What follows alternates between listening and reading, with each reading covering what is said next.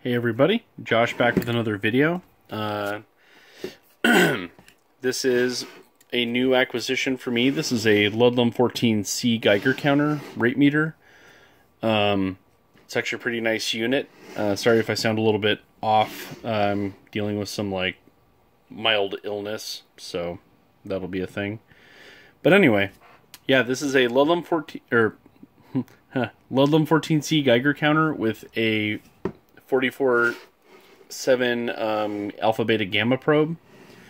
And this is actually a pretty nice unit. This is a pretty good score. Um, this one also has its own uh, cesium 137 check source in here. This is actually kind of like a little shield door. It'll probably shield a chunk of the betas and if not all of them. But anyway, yeah, let's kind of like review the features of this guy. This is a pretty interesting unit because it, this one comes with this probe. This is an alpha beta gamma probe. Pretty nice. It's in a pickle style versus like the pancake style probes I've showed before. Um, and it also features a higher range internal tube. So if you'll notice, the uh, I'll try and get this so you can see it without the wire in the way.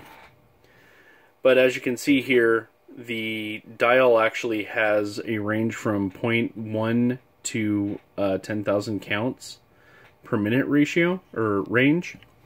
And the 10,000 counts per minute is actually measured by a small internal Geiger tube that I'll show you later in the video. But anyway, um, this is ooh, kind of a standard deal in terms of Ludlums. You've got your audio on and off. Oops. You've got a fast and slow integration. You've got a reset switch and a battery check. This moment the meter's in the off position, so I'm going to go ahead and switch it to 0.1, which is the lowest range. And as you can hear, it's clicking. Um, I also have a counts per minute face here. So you can actually see in fast mode it's adding counts rather quickly. And yeah, anyway, it's, that's pretty simple so far. Um, we'll do the battery check here real quick. The battery button. And we got a full battery. But anyway, I will go ahead and just like use our check source to check here.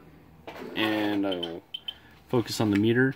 So if I hold it sideways, I'm picking up definitely some of the gammas at the very least, going through the shielding and into the tube. And I'm going to go ahead and just pop the range up to 100 to the check source when it's open. But anyway, yeah, so this this setup here will, or the way that this probe is held here will have uh, mostly gamma activity, maybe a couple of betas make it through, but you never know. Uh, and then I'll just do the end window, which should allow alpha, beta, and gamma, but there are probably few alphas being emitted here, if any, from the cesium-137. And you can see that the meter is reading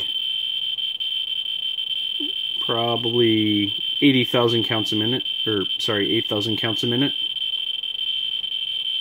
So the check source definitely works, and that's a uh, cesium 137, as you can see written there.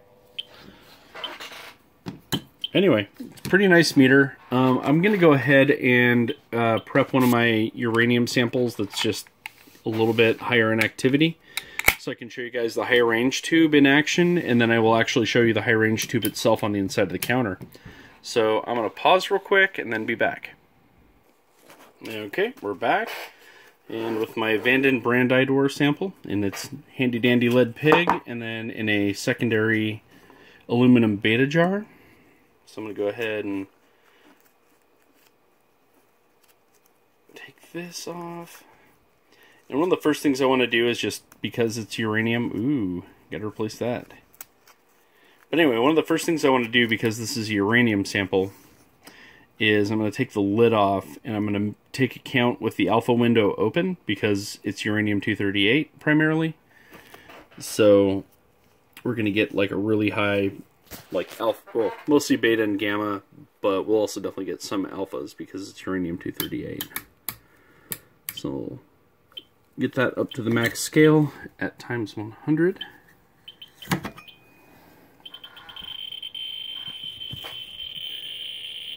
Oops, There we are.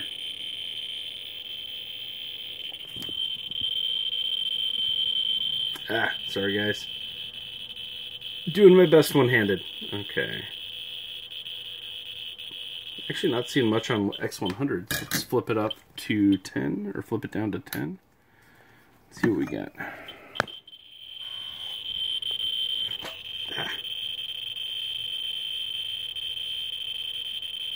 Yeah, it's about 10,000 counts a minute through the end window. So that's not bad. But now I'm going to go ahead and put the lid back on this guy. And I'm going to hold it sideways against where the uh, times one tenth, or yeah, times 1,000 range is. Get the lead pig out of the way.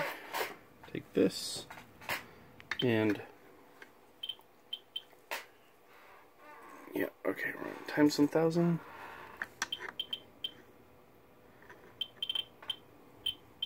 It's not getting a whole lot. It's getting some, but that's actually a really high range tube as well, so I'm not surprised. But anyway, as you can see, something that made the uh, alpha beta gamma probe sing a little bit is uh, not as effective on this other tube, and I'll show you why. So first thing I'm going to do is I'm going to power it off, and then I'm going to open the can, and I'll show you guys.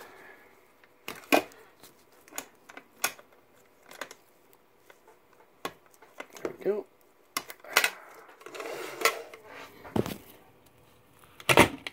There we go.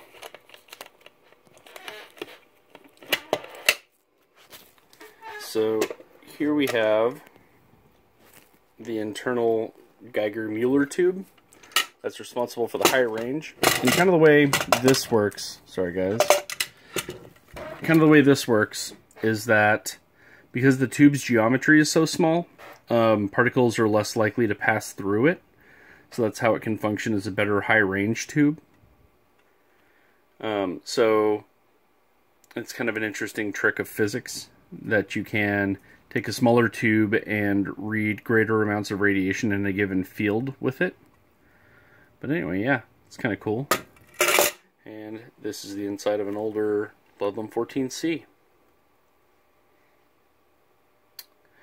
But uh, yeah, so we'll go ahead and put that back together. And click our lid, click the can closed. Hold this down while we do the same thing to the other side. Oops. And there we go.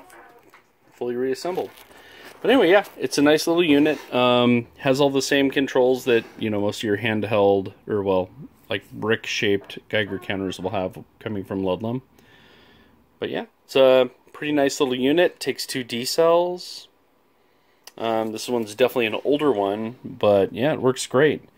Oh, actually, let me grab an alpha emitter and we can read that. I'm going to pause.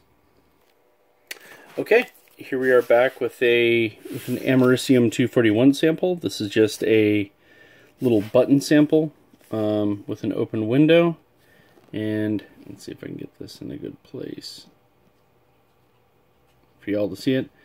In the middle of this button is a small like foil piece that's been coated with the Americium 241, which is an alpha emitter. Uh, this is the same stuff they use in smoke alarms.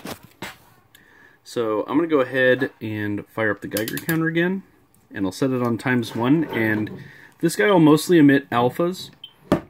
So we'll see how many we can pick up with the end window probe, and I'll also show you how the readings change with distance. So, and you can definitely, you'll definitely be able to hear it with the, uh, with the Geiger counter's speaker. So, but anyway, so just listen as it get closer, and you'll see how close I have to get before it really reads hard.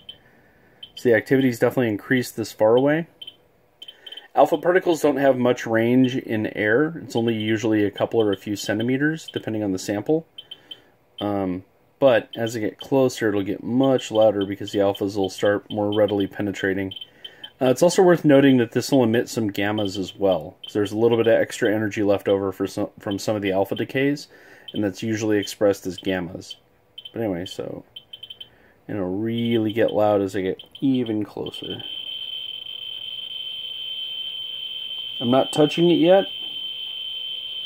I'm going to try not to touch it.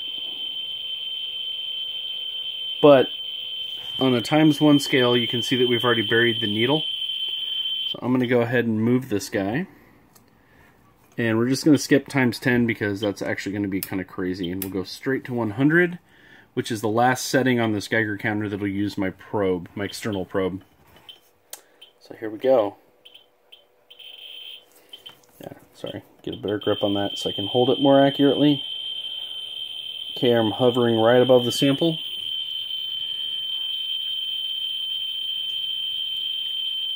So we are at nearly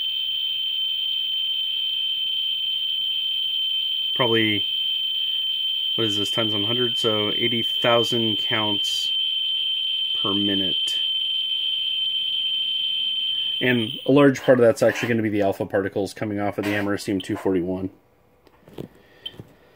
so cool. Um, yeah and that's actually kind of one of the cool features about this thing that allows it to work in a fire alarm is that uh, these alpha particles ionize the air between the actual like foil piece here and between the outer housing of like whatever's holding it. It creates a small electrical current and as smoke and other particles drift into that chamber they'll actually block this alpha radiation and create like a lower current between the plate and the sample and when the fire alarm detects that that current has sufficiently shrunk, it goes off.